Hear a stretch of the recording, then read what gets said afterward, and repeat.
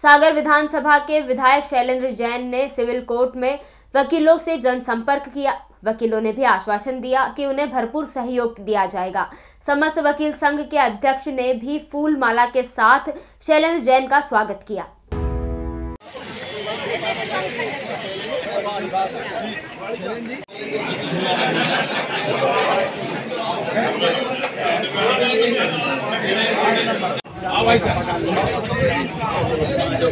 ग्रामीण भारत टीवी के लिए सागर से बीपी पटेल की रिपोर्ट। खबरों में बने रहने के लिए ग्रामीण भारत टीवी को सब्सक्राइब कीजिए और बेल आइकॉन दबाना ना भूलें।